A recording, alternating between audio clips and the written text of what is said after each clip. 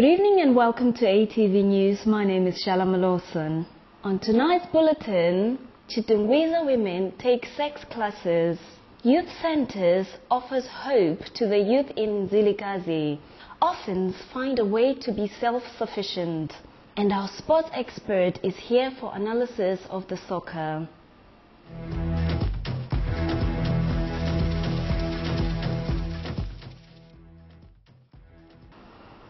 In a bid to save their marriages, some women in Chitungwiza are now learning Chinamwari to improve their sexual performance. Muchaneta Chimuga reports.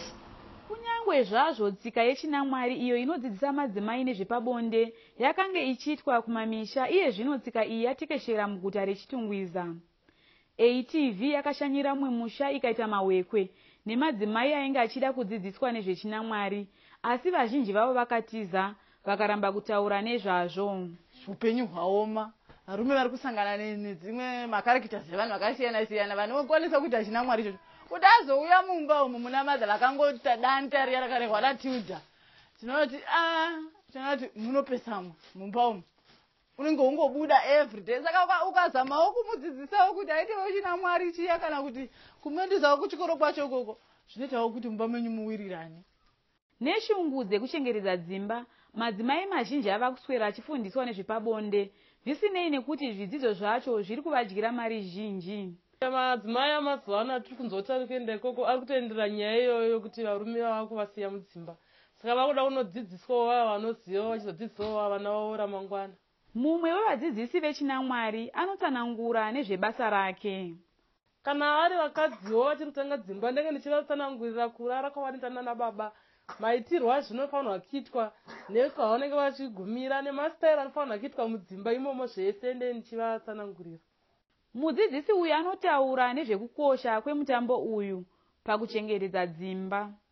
Chinoitwa nemarudzi amachawa aya ndoanoziva nezvechinamwari vanoita kuti vana vanenge vachikura ava mazuva ano madzitete edu ava mashoma plus haachakwanisi kudzidzisa vana zvinoitika mumba. Ndosaka vanhu vava kuindisa vana kuchinamwari vane vachinodzidziswa kunzi murume anobatwa sei murume anoitwa sei vana vamazuva ano vava kusiwa nevarume kana vakavatana narume kana vakavata nedanda. Mamwe madzimai akashora kufundiswa kwechinamwari kuvana vasati vabva zera. Saka ndinoona chachakazoipira kudzidzisa mwana sekuti achiri kuenda kuchikoro ndechekuti mwana iyeye anokwanisa kunge akushuvira kuti zvese zvandadzidziswa zvezve dai ndachizviita nemunhurume. Kudzidziswa kwechinamwari nemarudzi aya kwainge kusina muripo sezvave kuitwa mazuva ano ndini mutori wenhau weatv muchanita chimuka. Ndiri muchitumbwiza zimbabwe. A youth center is giving hope to unemployed youths, offering them a platform to showcase their artistic talents. Selum Shanga reports. imzilikazi youth center inika abatsha ithuba lokufundela imidlalo lemigido etshiyeneyo ukwenzela ukuthuthukisa ikusasa labo le yindlela yokusiza abatsha ukuthola ulutho lokwenza. Okwenqabela ukuthi bengalingeki ngokona ubusela lokubhema izidakamizwa. Bisa bonke bebe wandawo siba-identify ukuthi lowo good ungaphi lowo good ungaphi as we speak sile dance uh, dance company ekhona lapha e-youth center it deals nge-music dance le-theatre sibe sesipisa amanye ama-activities esilawo like anjengabo-volleyball soccer le-gym kulindawo abatsha bahlawuliswa indleko encinyane ukusebenzisa indawo le ngomnyaka ukwenzela ukuthi labaswelayo banelise ukusizakala. Wonke nje ama-youth center in bulawayo they give us an opportunity to use their facilities at, at a reasonable amount uh, ngoba i-youth eyodwa uyabhadala 5 dollars that's for the whole year. Intsha elapha ilakho ukuzisebenza ngemfundiso abayithola kulindawo ukuthukuthukisa ikusasa labo kanye lokuncedisa abanye abasakhulayo. Ngafind out ukuthi phandle la kulabantwana abangela bazali so abathanda i-art so abantwana bona abana singabathatha sikhulume labazali babo ababagcinile like ama-guardians abo and then sibese sibe sesosebenza labo. Imidlalo ukuhlabela ukuba zimbongi kanye lokugida kugoqela imfundiso abayithola kulindawo thina silapha emzilikazi youth center lapha kwesisebenzela khona siyenza ama-traditional dances vele kwespecializa kiwo singabafana namankazana ranging from uh, 17 to 35 years. Bakhona abanye abafundiswa kule ndawo asebephumelele njalo sebengabahlabeleli abalodumo elizweni lethu kanye lakwamanye amazwe. Nginguselu mhlanga ngimele i-atv kobulawayo ezimbabwe A group of orphans in Kulumani is now growing vegetables and rearing chickens to raise money for their upkeep. The children are also receiving support from the local community. Crispin Tavura gives us the story. Over 20 child-aided families in Bulawayo's Kulumane high-density suburb have embarked on self-help projects to generate income. The children aged between 12 and 19 are rearing chickens and growing crops for sale. Sizintandane sathiwa ngubaba lo mama so okwakhathesi besigcina inkukhu. Imali yangikhona besiqalise ngojanuwari ukugcina inkukhu. So imali yangikhona besi- besiyisebenzisa ukubhadala i-school fees labana wami loku- lokubhadala amagetsi lokuthi ubhadala amanzi siyakwanisa ukuthengisa sithole imali yesithebo sithengise sithole imali yamabhuku. Sithengise sithole imali nje yokubhadala ezesa nje sikwanisela nje khopha into eziningi. Sikwanisa ukuthi imali yangikhona nxa iningi sihambe sebadingela impahla zamadola dola etown. And ukulima umbhida kuyasincedisa ezindlini la sigcine abana bethu kuyasincedisa ngokuthenga amabhuku ngemali esizithengisayo.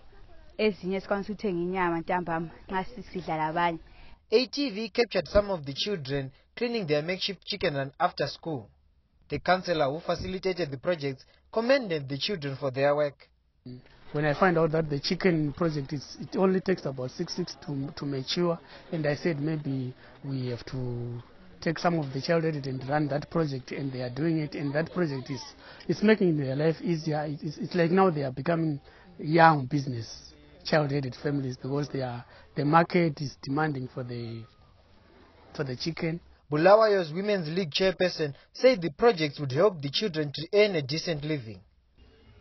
sabona ukuthi labo sibafake labo ezingadini ukwenzela ukuthi bathole okokuziphathisa ikakhulu ekudleni emalini ze-school fees ukuthi bafundise abanawabo laba babachiyelwa ngabazali Reporting for ATV in Bulawayo, Zimbabwe.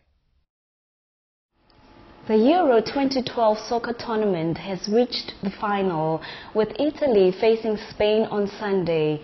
Our expert Jason Gallagher was here earlier to give his analysis of the match. The semi-finals did not let us down. The one-man army in the form of Portugal just weren't good enough against Spain.